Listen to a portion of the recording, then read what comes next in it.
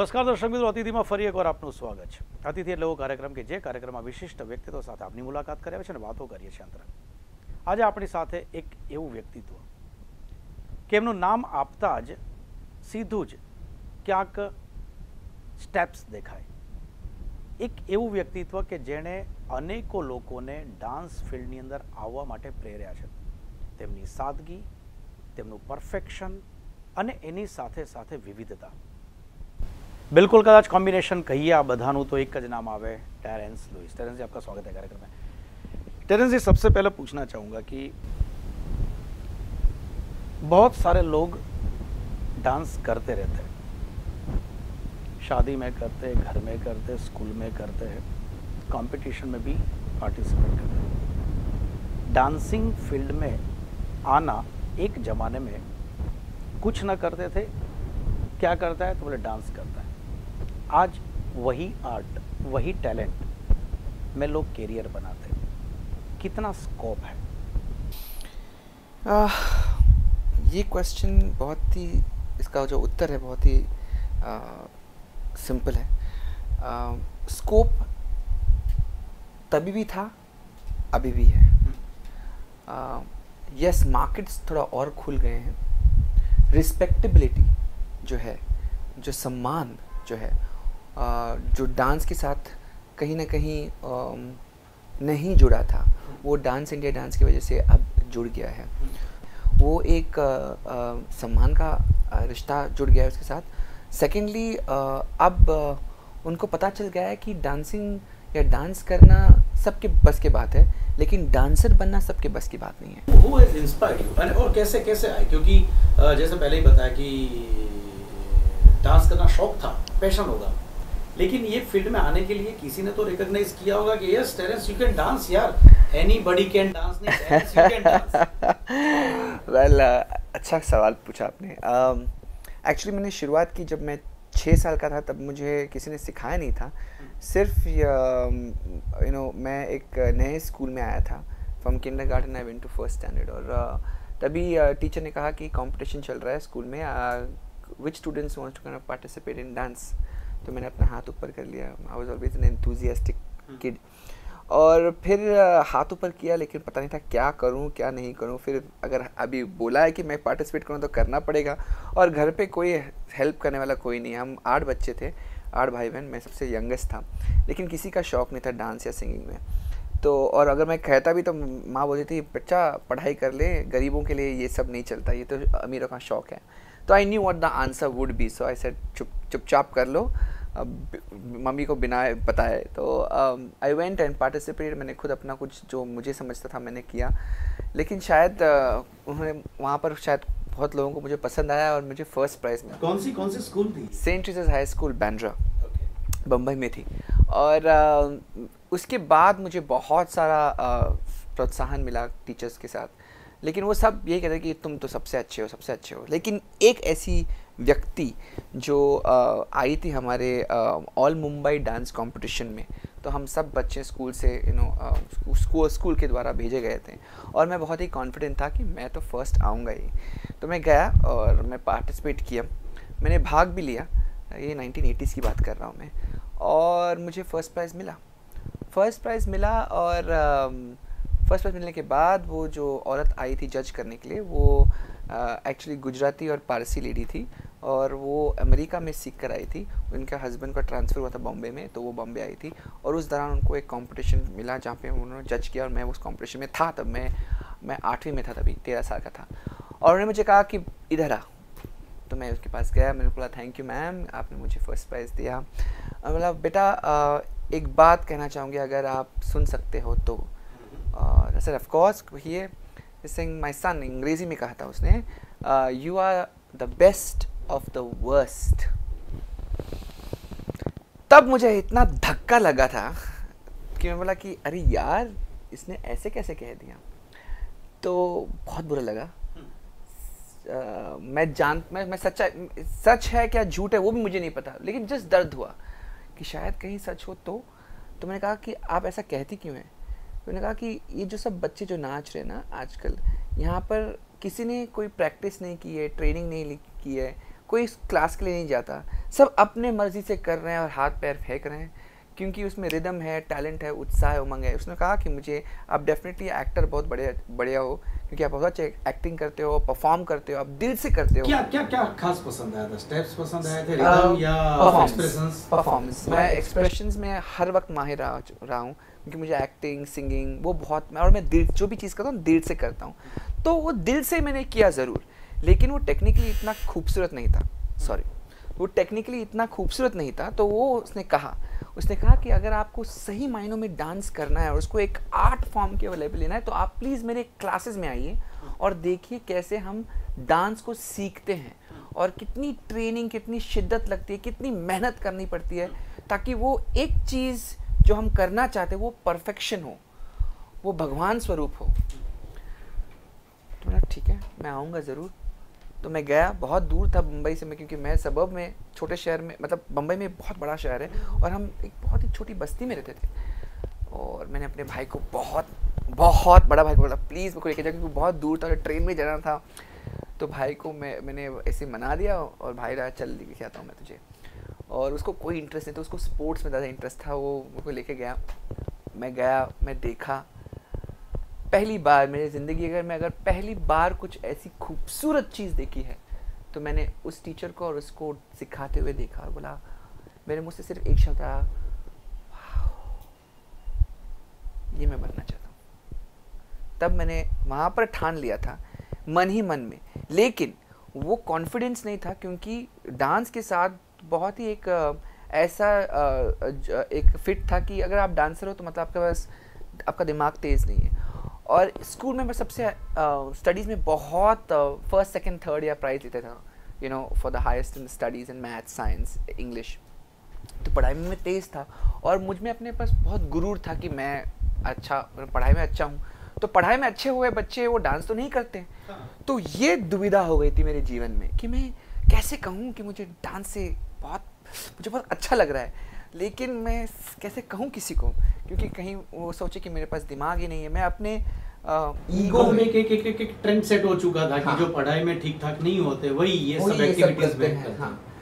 वो जमाना था तभी। अभी ऐसा कुछ नहीं है। आज आप देखो बच्चे सबसे सयाने बच्चे तो हर कुछ हर चीज़ें करते हैं। वो सिंगिंग में अच्छे हैं कभी कभी डांसिंग में कभी दे ऑल स्मार्ट आज की जो पीढ़ी निकली है वो हमसे भी ज़्यादा मतलब तेज़ है। तो I would say that that वो ज़माना कुछ अलग था तभी। वो सो उसकी सोच अलग थी। और मैं भी थोड़ा डरा हुआ था मैं बच्चा था। मैं बोला कि मैं कैसे बोलूँ किसी को मुझे डांस से इतना प्यार है और मैं इतना खुश हूँ डांस करते करते। फिर थोड़ी हिम्मत बड़ी मैं गया मैं सीखा मैंने बहुत अच्छी तरह से सीखा उनसे। आ, उन्होंने मुझे आ, मुझे मुफ़्त में सिखाया क्योंकि मेरे पास पैसे नहीं थे। और लेकिन उन्होंने मुझे कोई कुछ चीज़ मुफ़्त नहीं दी। उन्होंने कहा कि मैं मुफ़्त चीज़ में मानती नहीं हूँ क्योंकि फिर उसका कोई वैल्यू नहीं होता।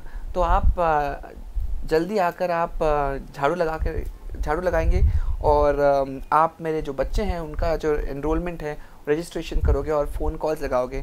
तो ना हाँ मैं ज़रूर करूँगा, मैं एक घंटा पहले आ सकता हूँ और मैं ये सब कुछ कर लूँगा। और मैं, क्योंकि वो हॉल जो था, बहुत ही गंदा था गवर्नमेंट हॉल था सॉरी बहुत ही गंदा गवर्नमेंट हॉल था वो। बहुत ही मतलब धूल, मिट्टी सब थी, उसको साफ़ करना, क्योंकि उसको बहुत ही साफ़ चाहिए था। तो झाड़ू पोछा मारना, मुझे कोई एतराज़ नहीं था, मुझे सफ़ाई से बहुत शौक है। एनीवेज मुझे सब अच्छी क्लीन चीज़ें बहुत पसंद है तो मैंने अपने दिल से किया वो काम और uh, मुझे बहुत अच्छा लगा और कि उसमें मुझे बस वो शायद वो शायद कह सकते हो कि टर्निंग पॉइंट जहाँ से uh, आपने सही पाथ कर लिया टर्निंग पॉइंट के बाद आगे वाले ट्रैक पे बात करेंगे एक छोटे से ब्रेक के बाद दर्शक एक विराम बाद અંતરંગ વાતોને કદાચ હવે પછીની વાતો એવી છે કે કદાચ દરેકે દરેક લોકો જે આ કાર્યક્રમ જોઈ રહ્યા છે એ દરેકે દરેક લોકો માટે એક નવી વાત અને ક્યાંક પ્રેરણાદાયી વાત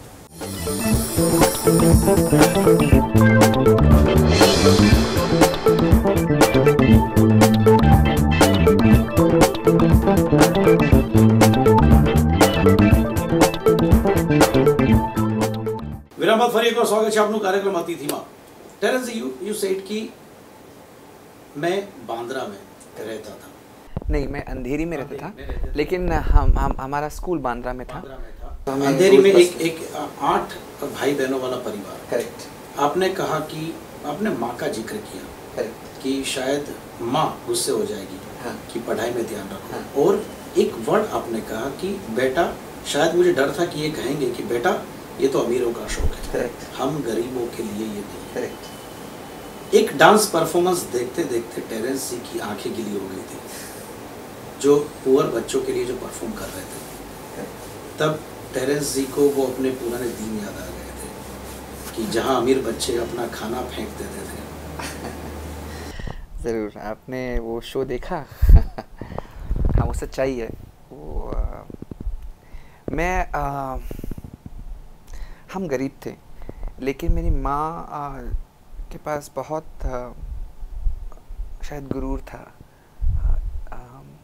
कि वो आम, और शायद वो वो शायद आई वुड से घमंड प्राइड मेरे में भी था कि मैं किसी को अपनी गरीबी नहीं दिखाना चाहता हूँ। तो बहुत सारे जो मेरे दोस्त थे वो नहीं जानते थे कि मैं दो सौ स्क्वायर फीट के घर में रहता हूँ। मेरे पास आठ भाई बहन हैं मेरा मेरा बाप जो है मज़दूर है और वो बिजनेसमैन नहीं है। और आ, मेरे सब दोस्त जो थे वो बहुत बहुत अमीर थे और मुझे शर्म आती थी कहने के लिए कि मैं गरीब हूँ। और मेरा जो बाथरूम और टॉयलेट भी है वो बाहर है। आ, तो आ, एक ऐसा वक्त आया भी था कि आ, हमारे पास खाने के लिए बहुत मतलब सब चीज़ बट जाती थी क्योंकि हम आठ बच्चे थे हम आठ भाई बहन थे। और मेरी माँ और बाप ने अपने आप को भूखा रख के हम हमें खाना खिलाया है। कभी कभी जब डैडी का स्ट्राइक हुआ है तो। और एक वक्त ऐसा भी आता था कि जब हमारे पास टिफ़िन नहीं हुआ करता था और हमें कभी टिफ़िन की आदत नहीं दी गई थी। और मुझमें बहुत घमंड था कि मैं किसी को अपनी गरीबी नहीं बताऊँगा तो मैंने अपने टीचर को हमारे पास एक गरीब बच्चों के लिए एक मील सर्विस हुआ करती थी। मतलब जो गरीब बच्चे हैं, वो उनको रिसर्च में एक वड़ा पाव और दूध मिलता था। लेकिन उसके लिए लाइन में खड़ा होना पड़ता था और हम तुरंत जानते थे कि ये बच्चे गरीब हैं, इनके पास पैसे नहीं हैं। मुझमें वो बहुत घमंड था कि मैं किसी को नहीं बताना चाहता हूँ कि मैं गरीब हूँ। तो मैं उस लाइन में नहीं मैंने किसी को कहा भी नहीं और मैंने कभी वो लाइन में गया भी नहीं। आ, लेकिन भूख भूख है। और आ, कई ऐसे दिन थे जहाँ पर मुझे मजबूरन ना चाहते हुए भी इतनी क्योंकि मेरे भूख इतनी ज़्यादा थी मैं रुकता था कि वो रिसेस का बेल कब ख़त्म होता कि सब बच्चे अंदर जाए। और क्योंकि मैं मॉनिटर हुआ करता था तो मुझे सहूलियत दी गई थी कि मैं लेट आ सकूँ। तो मैंने कई बार ऐसी ऐसे वक्त में कचरे में उठा के वड़ा पाव खाया क्योंकि मुझे बहुत भूख लगी थी। और वो ये दिन मुझे याद है। अ, अ, आप ज़्यादातर माँ का ज़िक्र करते हैं। नहीं मेरे मेरे पिताजी का भी बहुत बड़ा सहयोग रहा है। उन्होंने बहुत बहुत बहुत मेहनत की है। डबल डबल शिफ्ट्स किए हैं। मज़दूर थे वो रबर फैक्ट्री में फायर स्टोन हुआ करता था अभी वो मोदी स्टोन बन गया। और मम्मी जो थी वो एक मिसाल थी हमारे लिए। वो काफ़ी अटूट था उनका विश्वास अपने ऊपर अपने खुदा के ऊपर। हमने अ, हमें बहुत सारी चीज़ें नहीं दी गई थी लेकिन हमारे उसूल काफ़ी पक्के थे। और मम्मी को देखकर डैडी को देखकर, दोनों को देखकर, मेरे डैडी जो थे, वो हर वक्त, अभी भी कहते थे, जब मैंने को मैं उनके बर्थडे के दिन मिला तो बोला, बेटा अपने लिए तो सब लोग जीते हैं, लेकिन कुछ दूसरों के लिए भी जीना, याद रखना। मैं चाहे जीव ना मरूँ। ये मेरे मेरे डैडी ने फिर से कहा मुझ, मुझसे। और मेरी माँ ने भी बहुत सारा, बहुत सारी चीज़ें की हैं, दूसरों लोगों के लिए, गरीब होते हुए। हम चार में रहते थे, लेकिन यू नो फ़कीर लोग आते थे खाना मांगने के लिए। और मेरी माँ हर वक्त उनको कुछ ना कुछ देती थी। हमने देखा है कि ये हमने खुद देखा है, उन्होंने बोला नहीं है, लेकिन उनके करके दिखाया है और शायद कहीं ना कहीं हम में भी वो आ गया अपने जहन में कि हमें दूसरों के लिए भी करना चाहिए। अपने अपने अपने लिए भी खुद करना चाहिए, अपने फैमिलीज़ के लिए। वो हमारी ज़िम्मेदारी पहली होती है हमारी तरफ़, लेकिन जब हमारे हमारी तरफ़ वो ज़िम्मेदारी ख़त्म हो जाती है और हमारे पास कुछ और है देने के काबिल तो दिल खोल कर देना चाहिए Terence ji Terence ji eighth में टीचर ने रिकग्नाइज किया कि यार टेरेंस अच्छा डांस कर सकता है और फर्स्ट इन वर्स्ट ऐसे बोला था वट लेकिन फर्स्ट नंबर तो दिया था कहीं लगा था कि अ, हीरा है पॉलिश करना है अपने आप कीमत बढ़ेगी इसकी सही मायने में सही मायने में ब्रेक कब मिला था उसकी बात करेंगे इस બ્રેક કે બાદ દર્શક મિત્રો સમય થયો છે વિરામનો અંતિમ પડાવમાં અંગત વાતો अंतरंग वातो अतिथि माँ टेरेंस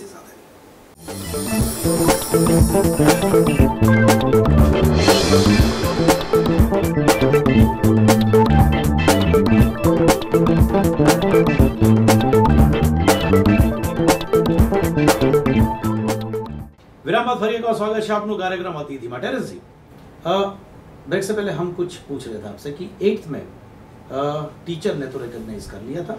लेकिन सही मायने में क्योंकि ये ये ये ये कोई ऐसी चीज़ नहीं थी कि ऑर्डर कर लिया स्विच दबा दिया फटाक दे के लाइट हो गई।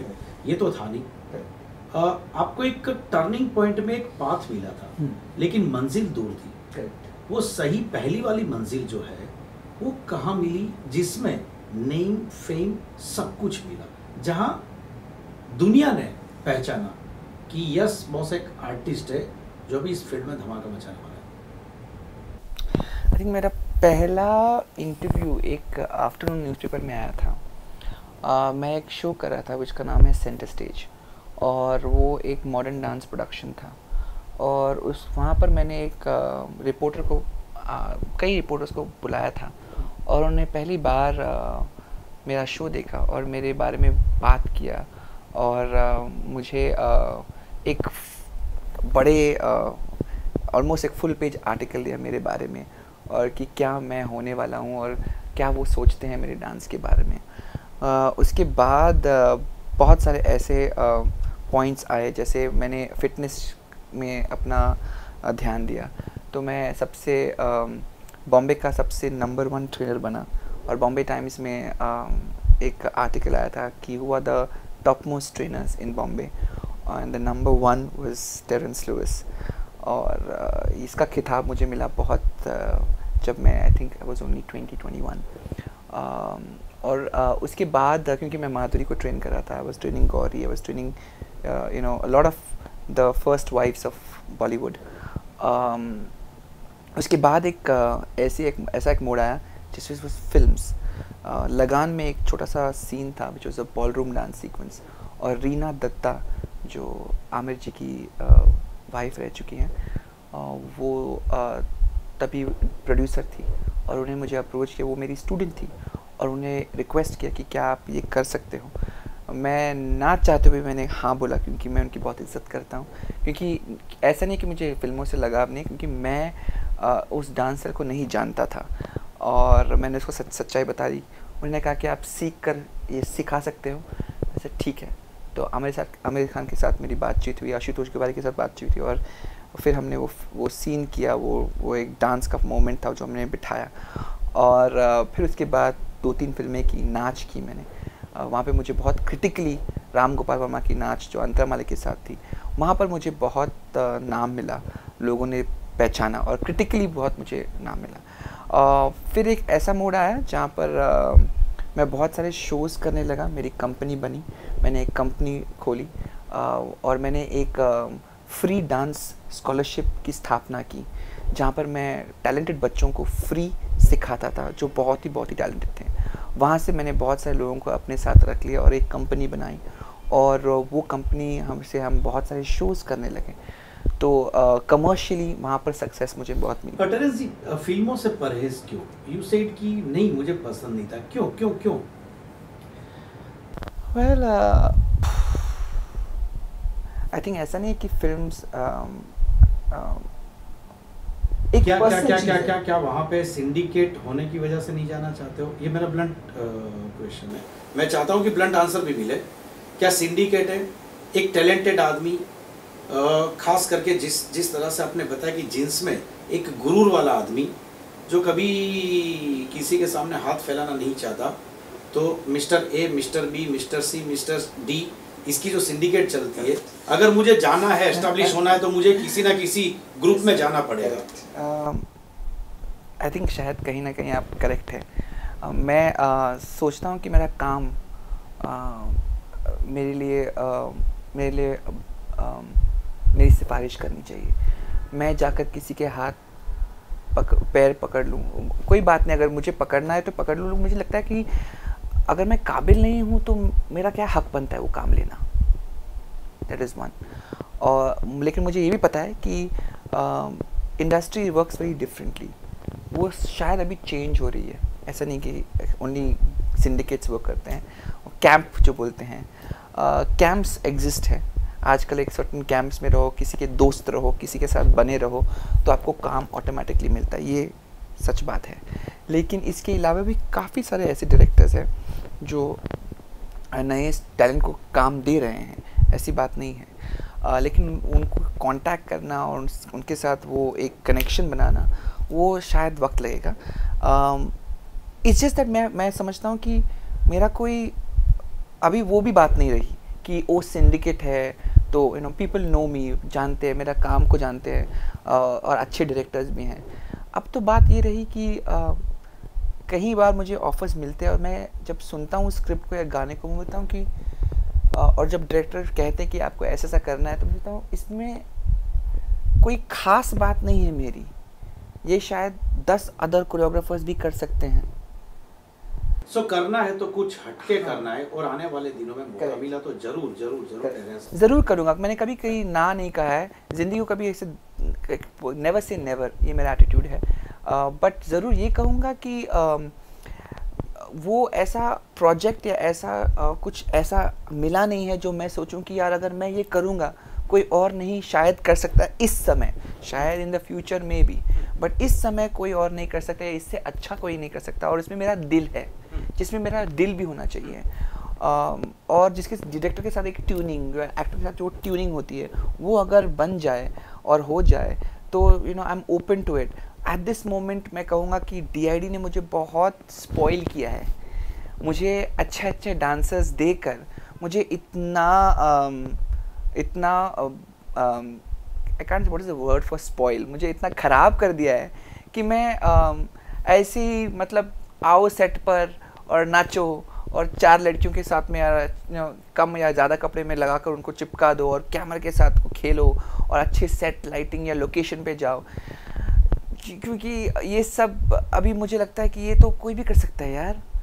आ, लेकिन डी का जो लेवल जो हमने मेंटेन किया है और वो भी only because of the contestants जो मेहनत उन्होंने की है और जो मेहनत के साथ हमें वो इंस्पायर करती है कि हम भी कुछ अच्छा करें। नाउ नाउ नाउ नाउ यहाँ सीधा सवाल जैसे कि अच्छे बच्चे डांस में शौक रखने वाले, जिस, जो पैशन मानते हैं डांस को, ऐसे बच्चे आपके पास आए, ऐसे ही टेरेंस जी खुद अपने आप को सही में पॉलिशिंग के लिए हिंदुस्तान के कोई भी dance teacher dance director choreographer को सलाम नहीं करते। खुद बोलते हैं कि मुझे सही में पॉलिश हुआ या तो मुझे सही मोल्डिंग मिला तो वो मिला है अब्रोड में। उनका जो मेहनत तो क्या क्या हिंदुस्तान अगर कंपेयर करें उनके साथ कैसे करेंगे? वक्त बहुत कम है। Sure. कैसे करेंगे कैसे करेंगे? uh, क्या है कि जो स्टाइल मैं सीख रहा हूँ कंटेम्प्रेरी डांस यहाँ पर फ़र्स्ट ऑफ़ ऑल वो फोकस नहीं है। सेकेंडली uh, uh, एक uh, गुरु शिष्य का रिलेशनशिप इतना स्ट्रांग है कि अनलेस वो शिष्य गुरु के साथ uh, मतलब बंद ना जाए ज़िंदगी भर तक कोई सिखाने के लिए तैयार नहीं है। And this is the kind of एक एक बंदिश हो जाती है। अगर वो कहते हैं कि नहीं आप अब मेरे साथ रहो क्योंकि मुझ इतना वक्त लगेगा आपको सीखने उसमें मैं मानता हूँ। लेकिन अगर वो बंदिशें तैयार करना चाहते हैं that's where I feel it's that's where it's the relationship only is wrong abroad में जो हो वहाँ पर वो जो लेवल है ऑफ़ अवेयरनेस सेकेंडली वो जो uh, जब वो इस आर्ट फॉर्म में जाते हैं वो अपने पैसों के लिए नहीं करते हैं।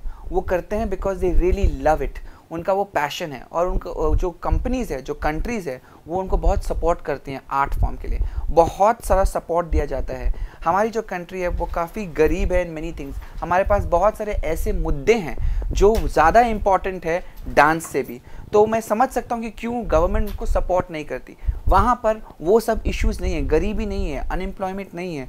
तो वहाँ पर अगर आपका मन लगे कि मुझे डांसर बनना है तो आपको पूरा सपोर्ट मिलता है गवर्नमेंट से कि आप वही करो जो आप अच्छा करो। यहाँ पर अगर एक डांसर बोले कि मुझे सिर्फ़ डांस करना है कुछ कुछ लोग कर सकते हैं कि अगर वो मशहूर बन जाते हैं, लेकिन बहुत सारे लोग नहीं जी पाएँगे। Unless they become famous unless they come on D I D it's going be impossible for them to sustain themselves whereas abroad अगर आप टीवी शो पर ना भी आए, आप फ़ेमस ना भी हो, लेकिन अगर आप में वो बात है, अगर आप बनना चाहते हैं डांसर गवर्नमेंट सपोर्ट करती है, तक, जब तक कि आप वो लेवल तक ना पहुँचे तो उस रिफाइनमेंट वो पॉलिशिंग ज़रूर वहाँ पर ज़्यादा ध्यान जाता है क्योंकि उनका वो फोकस नहीं कि पैसा बनाओ। उनका फोकस है कि वो सबसे अच्छे डांसर बनाए। Excellence is the key there last last last सवाल। आपका एक ड्रीम है कि एक डांस यूनिवर्सिटी एक पूरा बिल्डिंग जो आपने अभी एक शो में भी आपने बताया था कि मैं एक चाहता हूँ कि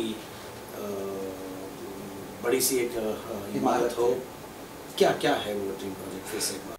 जिस तरह से वो मेहनत करते हैं और जिस तरह से उनकी कैपेबिलिटीज़ है फ्लेक्सिबिलिटी है स्ट्रेंथ है, ताकत है और जिस शिद्दत के साथ वो एक डांस को पेश करते हैं, मैं मतलब मेरी मतलब पूरी दुनिया जो थी वो बदल गई है। मतलब कि ये चीज़ मुझे चाहिए इंडिया में।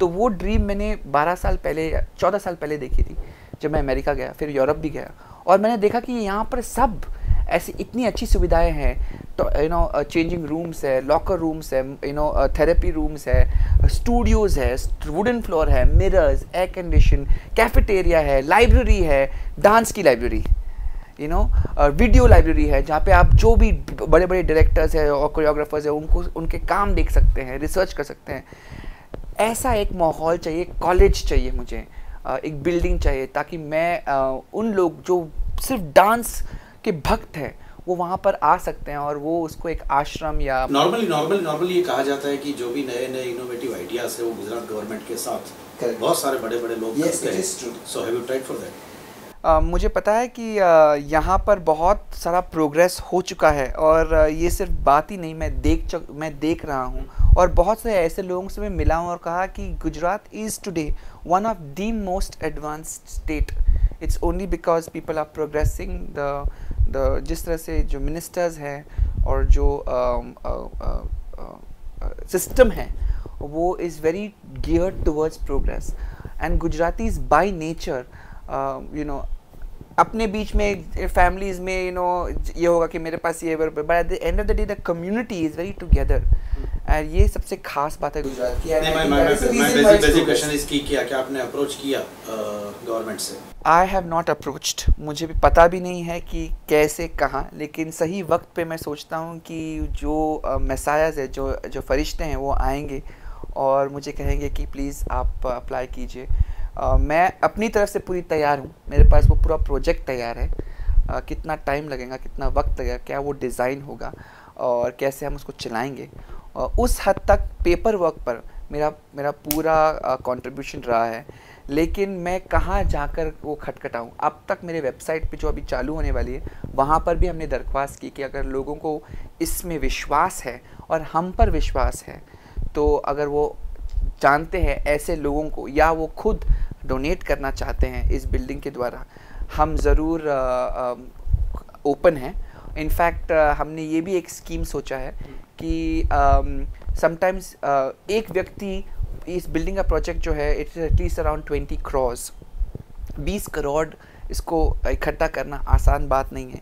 लेकिन हमारी जो पूरी दुनिया की जो आबादी है is close to around ten billion ten billion people are there और उसमें से जो अमीर लोग हैं एटलीस्ट वन मिलियन अगर वो वन मिलियन लोग भी अगर सिर्फ़ दस हज़ार रुपये देते हैं okay one time contribution one time contribution तो वो बीस करोड़ बन सकता है। और हर एक आदमी व्यक्ति जो ये दस हज़ार का रुपये दे सकता है टुवर्ड्स दिस बिल्डिंग वो इकट्ठा होगा एक ट्रस्ट में क्योंकि हमारे पास एक ट्रस्ट है और इन ट्रस्ट के साथ आप खिलवाड़ नहीं कर सकते because it's supervise and monitored तो हमारा एक ट्रस्ट भी है जो which can give you a certificate and हर एक uh, जो दस हज़ार का एक डोनेशन देगा उस पर वो जब इमारत बनेगी वहाँ पर एक ब्रिक रहेगा एक ईट रहेगी उस ईट या पत्थर के पीछे आपका नाम रहेगा।